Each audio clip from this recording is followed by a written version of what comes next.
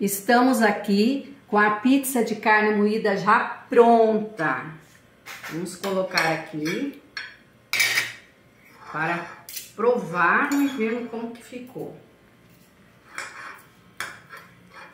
Nossa. Olha aqui que maravilha, ó. Sequinha, ó. Bem temperada, com creme de cebola.